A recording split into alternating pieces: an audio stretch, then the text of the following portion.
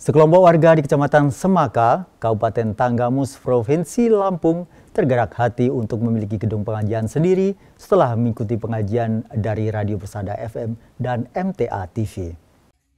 Terdorong untuk memiliki gedung pengajian sendiri, warga di Kecamatan Semaka, Kabupaten Tanggamus bergotong royong membangun fondasi di tanah calon majelis yang baru.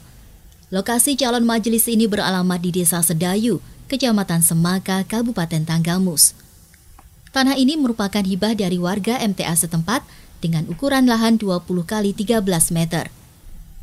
Menurut Ketua Binaan MTA Semaka, Mat Sugino, pendirian gedung pengajian ini menyusul bertambahnya jumlah warga yang ingin mengaji di Yayasan MTA.